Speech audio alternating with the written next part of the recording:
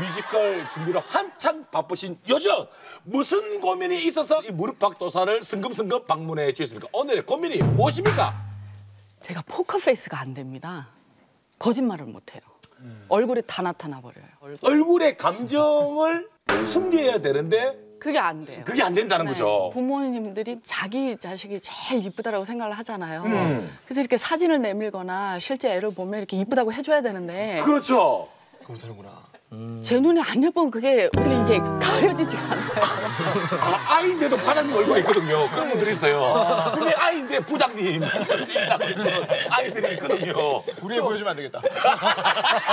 아니면 곡이 좋다. 근데 곡 들었을 때 그게 마음에 와닿지 않는데 아. 야, 특이하구나 뭐 이런 말을 돌려서 얘기하죠. 아, 근데 다 드러나는 것 같아요. 다그 중요한 건 알더라고요. 원래 직업이 이제 어떻게 보면 오디션도 많이 보시잖아요. 네. 한두 명 보는 게 아니지 않습니까? 네. 자료를 보니까 문을 열고 들어오는 순간 저 사람에 대해서 파악이 끝난답니다.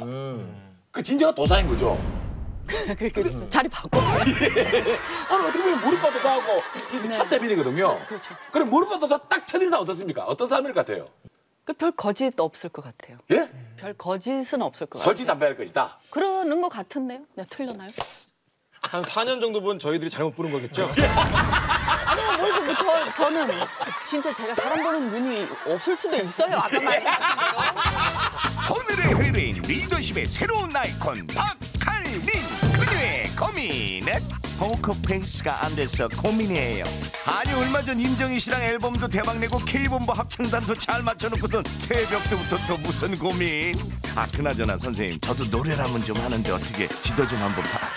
하긴 뭐 야단 맞을 것 같아가지고 못하겠다 지금부터 박할린을 낱낱이 파헤쳐보자. 팍팍 죄송합니다